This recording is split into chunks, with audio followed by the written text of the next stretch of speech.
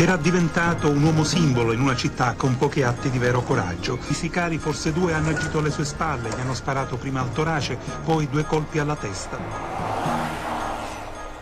Libero Grassi lo scorso anno era stato protagonista di un gesto controcorrente. Aveva rifiutato di pagare il pizzo, qualche giorno dopo aveva subito una rapina. Un messaggio esplicito, come dire senza protezione ti può accadere di tutto e di peggio.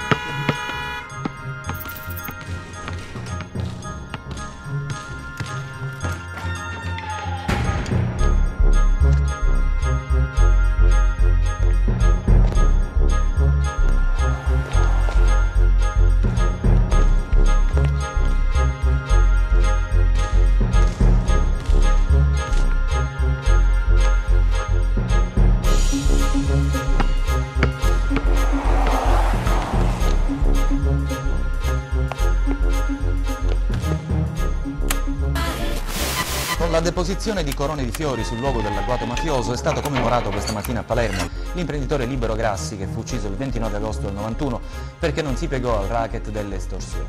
Per il sottosegretario all'interno, Ettore Rosato, ci sono imprenditori che sulla scia di quanto fatto Libero Grassi oggi cominciano